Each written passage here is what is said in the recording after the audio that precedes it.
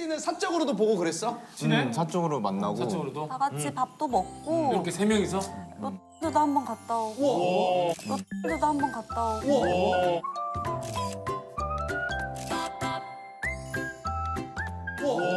왜 아빠들은 왜? 왜 아빠들은 영화도 보고. 왜 아빠들은 왜? 왜? 무성이 안 데리고 갔어? 무성이 가게 되면 또 돈 써야 되잖아 무성이. 빠 졌을 수도 있다. 야 무성이 저 플러스 엄청 좋아하는데 왜? 어?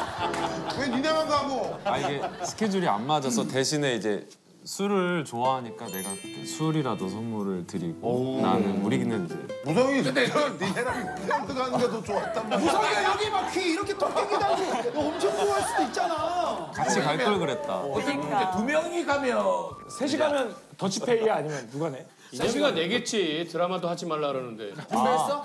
아 놀이공원을 가게 된 이유가 원래는 못 갈 뻔했는데 이제 채연이가 열심히 클릭을 해서 이제 빠르게 탈 수 있는 그 패스할 수 있는 그 이용권이 요즘에 되게 착순이야 어렵거든. 채연이가 밤새 눌렀는지 구해가지고 티켓팅을 했어. 티켓팅을 해줬어요. 채연이가 우리 놀이공원 데려가지고. 그럼 채연이가 정. 티켓팅을 해줬어요. 채연이가 우리 놀이공원 데려가지고. 그럼 채연이가 정해. 지금 무성이 형 표정 봐. 나도 좀 껴지.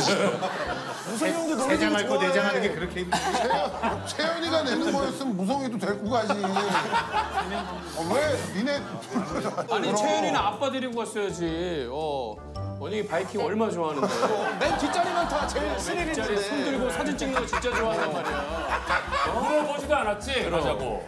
우리는 나중에 알았어 나는 그 자기들끼리 놀이공원 놀고 왔다고 어땠어? 그러길래 갔다 왔다 고 그러니까 약간 서운한 마음도 들고 야 자식이 아예 몰랐어 아무 소용이 없구나 형 아예 몰랐어. 아예 몰랐어요. 지금 알았을걸? 우리 한번 가자. 둘이 한번 가자.